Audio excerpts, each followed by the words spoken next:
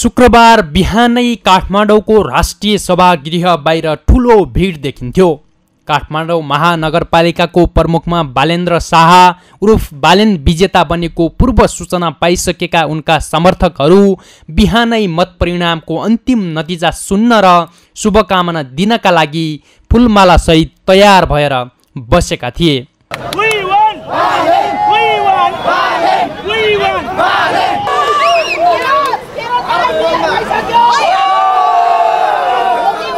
जब मुख्य निर्वाचन अधिकृतको कार्यालयले काठमाडौँ महानगरपालिकाको प्रमुखमा बालेन्द्र शाह फ्राकिलो मतान्तरका साथ विजयी भएको घोषणा गर्यो त्यसपछि सभागृह बाहिरको माहौल थाम्न सुरक्षाकर्मीलाई हम्मे हम्मे भएको थियो।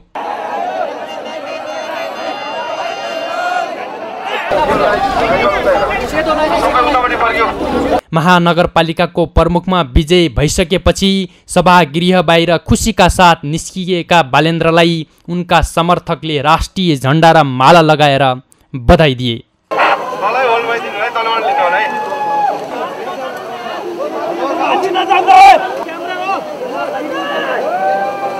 त्यसपछि उनको धन्यवाद र्याली काठमाडौँका विभिन्न ठाउँका लागि सभागृहबाट सुरु भयो।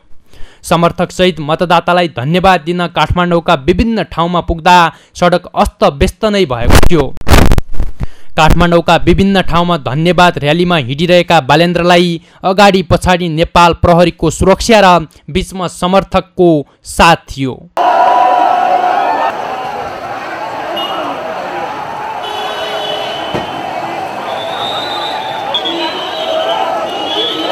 काठमाडौँको चक्रपथ परिक्रमा गरेर सम्पूर्ण मतदातालाई धन्यवाद ज्ञापन गरेका बालेन्द्र शाहले बोल्ने भन्दा पनि गरेर देखाउने बताएका छन्। अब पार्टीगत भन्दा पनि जनताका समस्या समाधान गर्ने नेतृत्व आवश्यक रहेको सर्वसाधारणहरूको भनाइ छ। पार्टीका व्यक्तिहरू पार्टीका नेता कार्यकर्ताहरू ठाउँमा पुगे।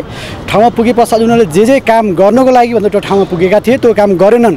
यस कारणले गर्दा अब जनताले पार्टीका नेतालाई होइन पार्टीका कार्यकर्तालाई होइन जो चाहिँ त्यहाँ ठाउँमा पुगेपछि सबभन्दा पहिलो प्रायोरिटी भनेको पार्टीकै कार्यकर्ता र पार्टीका आफ्ना मान्छे आफ्ना आसेपासेका मान्छे आफ्नो अध्यक्ष सभापति तल्लो निकायका कार्यकर्तालाई मात्र हेर्ने होइन कि अब चाहिँ जनताले के चाहन्छन् भने अब हामीलाई हेरोस्।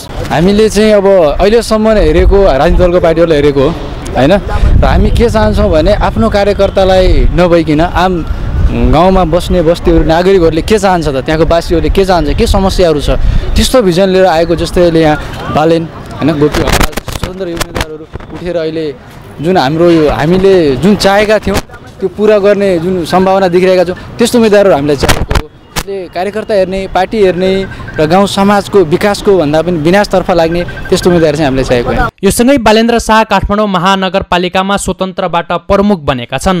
शुक्रबार सार्वजनिक भएको अन्तिम मत परिणाम अनुसार उनले एकसट्ठी हजार सात सय सडसठी मत पाएका छन् भने निकटतम प्रतिद्वन्दी नेपाली काङ्ग्रेसकी सिर्जना सिंहले अडतिस हजार तिन सय एकचालिस मत प्राप्त गरेकी छन्।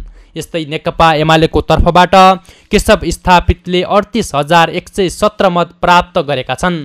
काठमाडौँ महानगरपालिकालाई विश्वकै पूर्ण विकसित र उत्कृष्ट सहर बनाउन आफ्नो सम्पूर्ण कुशलता प्रयोग गर्ने बालेन शाहको घोषणा छ।